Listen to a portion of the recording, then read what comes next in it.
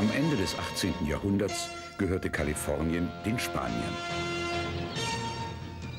Die kalifornische Bevölkerung wurde von der spanischen Armee tyrannisiert und von den Soldaten auf das Grausamste ausgebeutet. Die Menschen waren ohnmächtig vor Wut, denn sie konnten nichts dagegen tun. Die Soldaten mordeten und plünderten und nichts und niemand konnte sie aufhalten. Sehnsuchtsvoll dachte man an die friedlichen Zeiten zurück, als die Spanier das Land noch nicht verwüsteten. Was blieb, war der Traum von Freiheit. Doch wer würde diesen Traum wahr werden lassen?